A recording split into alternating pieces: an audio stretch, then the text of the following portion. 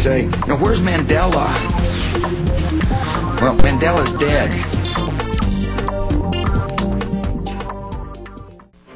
Let me tell you why I want to talk about this article. Three-fourths of this is inaccurate.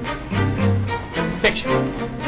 you people care about is readers and And kick a person when he's down. and because all you people want is more, more, more, more, more.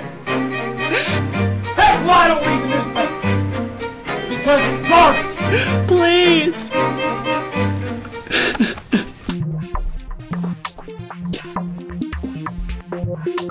U.S. Americans are unable to do so because uh, there in don't have maps, and uh, I believe that our ed- education, like such as South Africa